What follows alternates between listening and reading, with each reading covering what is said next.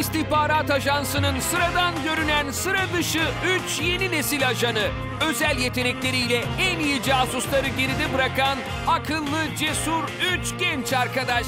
Berry Bees yeni nesil ajanlar 1 Eylül'de Minika Go'da başlıyor.